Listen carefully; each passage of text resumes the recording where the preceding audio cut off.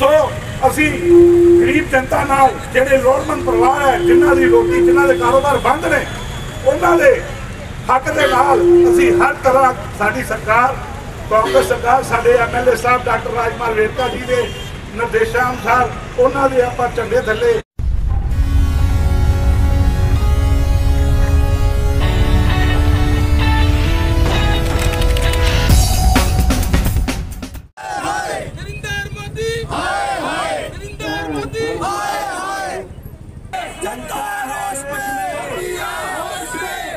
बढ़ता ही जा रहा है मोदी फार्मूलों का विरोध।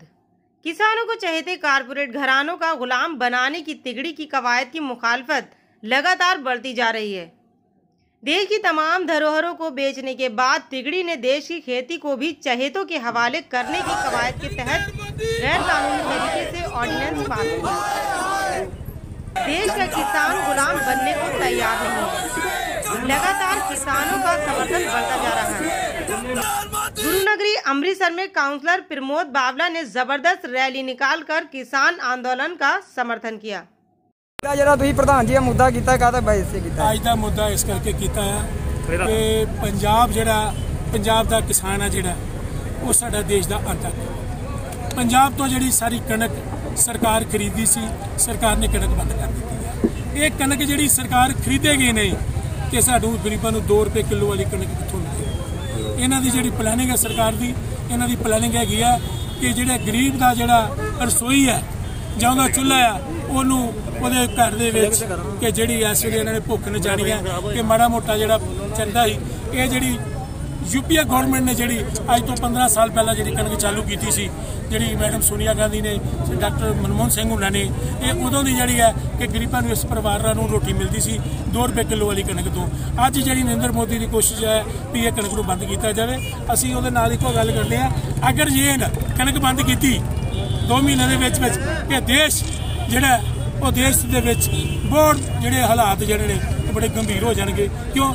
80% 70 ਤੋਂ 80% ਲੋਕ ਜਿਹੜੇ ਨੇ ਉਹ ਗਰੀਬ ਜਿਹੜੇ ਨੇ ਉਹ ਇੱਥੋਂ ਰੁਕ ਜਾਣਗੇ ਇਹ ਸਰਕਾਰੀ ਨੌਕਰੀਆਂ ਵਾ ਕਈ ਸਾਰੇ ਜਗ੍ਹਾ ਪ੍ਰਾਈਵੇਟ ਕਰੀ ਜਾਂਦੇ ਆ ਇਹਦੇ ਬਾਰੇ ਕੀ? ਉਹ ਇੱਕ ਬੜੀ ਤਗੜੀ ਦੀ ਸੋਚ ਜਿਹੜੀ ਇਹ ਇੱਕ ਜਿਹੜਾ ਹੈ, ਇਹ ਅਡਾਮੀ ਦਾਮੀ ਸਾਰਿਆਂ ਦਾ ਜਿਹੜਾ ਉਹਨਾਂ ਦਾ ਇੱਕ ਏਜੰਟ ਹੈ। ਇਹਦੀ ਪਲੈਨਿੰਗ ਇੱਕ ਹੈਗੀ ਆ ਕਿ ਜਿਹੜਾ 50 ਸਾਲ ਤੋਂ 53 ਸਾਲ ਤੋਂ ਉੱਤੇ ਹੁੰਦਾ ਉਹਨੂੰ ਰਿਟਾਇਰ ਕਰ ਦੋ ਮੈਂ ਨੌਕਰੀਆਂ ਦੇਣੀਆਂ। 10000 ਨਾਲ ਮੈਨੂੰ ਦੱਸੋ ਪਰਿਵਾਰ ਕਿੱਥੇ ਚੱਲੇਗਾ? ਇਹ 11000 ਰੁਪਏ ਦਾ ਕਹਿੰਦਾ ਜੀ ਮੈਂ 5 ਸਾਲ ਜਿਹੜੀ ਨੌਕਰੀ ਦੇਵਾਂਗਾ। 5 ਸਾਲ 11000 ਚ ਕਰੋਗੇ ਬਾਅਦ ਚ ਮੈਂ ਲਾਸਟ ਲਾਸਟ ਤੇ 20000 ਕਰਾਂਗਾ। ਮੈਨੂੰ ਦੱਸੋ ਕਿ 11000 ਰੁਪਏ ਦਾ ਕਿੱਥੋਂ ਨੌਕਰੀ ਬੰਦਾ ਕਰੇ? ਬਾਬਲਾ ਜੀ ਪੰਜਾਬ ਸਰਕਾਰ ਜਿਹੜੀ ਆ ਉਹ ਵੀ 10000 ਰੁਪਏ ਦੇ ਦੇਣ ਲਈ 3 ਸਾਲ ਵਾਸਤੇ ਨੌਕਰੀ ਉੱਤੇ ਕਿੱਦਾਂ ਗੁਜ਼ਾਰਾ ਜਾਵੇ ਪੰਜਾਬ ਸਰਕਾਰ ਦੇਖੋ ਮੇਰੀ ਗੱਲ ਸੁਣੋ ਪੰਜਾਬ ਸਰਕਾਰ ਦੇ ਵਿੱਚ ਬੜੀਆਂ ਫਸਿਆ ਪੰਜਾਬ ਦੀ ਸਰਕਾਰ ਦੇ ਰਹੀ ਹੈ ਨੌਕਰੀਆਂ ਨਹੀਂ ਉਹ ਵੀ 10000 ਦੇ ਦੇ ਰਹੀ ਹੈ ਨਾ। ਹਾਂਜੀ? ਉਹ ਵੀ 10000 ਦੇ ਦੇ ਰਹੀ ਹੈ। ਉਹ ਕਾਲੀ ਸਰਕਾਰ ਨੇ ਚਾਲੂ ਕੀਤੀਆਂ ਜੀ ਲੇਕਿਨ 1 ਲੱਖ ਨੌਕਰੀਆਂ ਸਰਕਾਰੀ ਦੇ ਰਹੀ ਹੈ ਕੈਪਟਨ ਸਾਹਿਬ ਆਉਣ ਵਾਲੇ ਜਿਹੜੀ ਅਕਾਲੀ ਸਰਕਾਰ ਜਿਹੜੀ ਮਤਾ ਪਾਸ ਕਰ ਗਈ ਨਾ ਉਹ ਕਰ ਗਈ ਉਹਦੇ ਤੇ ਕੰਮ ਹੁੰਦਾ। ਹੋ ਸਕਦਾ ਕਿ ਜਲਦੀ ਤੋਂ ਜਲਦੀ ਕੱਲ ਫੈਸਲਾ ਹੋ ਰਿਹਾ ਜਿਹੜਾ ਉਹ ਚ ਬੜਾ ਕੁਝ ਚੇਂਜ ਹੋ ਸਕਦਾ। ਅੱਛਾ ਬਾਬਾ ਜਿਹੜਾ ਕਿਸਾਨ ਅੰਦੋਲਨ ਹੈਗਾ ਉਹਦੇ ਬਾਰੇ ਕੀ ਕਹਿ ਚਾਹੋਗੇ? ਕਿਸਾਨ ਅੰਦੋਲਨ ਜਿਹੜਾ ਠੀਕ ਹੈ ਬਹੁਤ ਵਧੀਆ। ਕਿਸਾਨ ਅਗਰ ਆਪਣਾ ਮੰਡੀ ਦੇ ਵਿੱਚ ਮਾਲ ਵੇਚੇਗਾ ਉਹ ਮਾਲ ਵੇਚ ਗਿਆ ਉਹਨੂੰ ਉਸਲੇ ਪੇਮੈਂਟ ਮਿਲ ਉਹ ਆਪਣੀ ਸ਼ਾਪਿੰਗ ਕਰੇਗਾ ਉਹਦੇ ਨਾਲ ਸ਼ਹਿਰਾਂ ਦੇ ਲੋਕ ਵੀ ਜੁੜੇ ਨੇ ਸ਼ਹਿਰਾਂ ਦਾ ਵਪਾਰ ਵੀ ਚੱਲੇਗਾ। ਜਿਹੜਾ ਮਾਲ ਮੰਡੀ 'ਚ ਲੈ ਕੇ ਜਾਏਗਾ ਖਰੀਦਣ ਵਾਲਾ ਕੋਈ ਨਹੀਂ ਹੋਏਗਾ।